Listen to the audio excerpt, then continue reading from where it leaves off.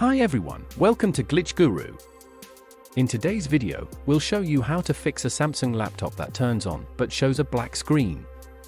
If your Samsung laptop screen has suddenly turned black while you were using it, plug the charging cable in and try resetting the graphics driver. To do this, press the Windows key plus Control plus Shift plus B on your keyboard together. Your screen will flash and start working again.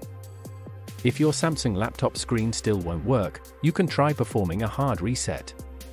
To do this, first press and hold the power button to turn off your laptop completely. Then, disconnect the charger and all other peripheral devices connected to your Samsung laptop. Now, press and hold the power button for at least 30 seconds. This will drain all the excessive power. After this, reconnect the charging cable to your laptop and press the power button to turn it back on. If you have any questions, feel free to ask in the comments below.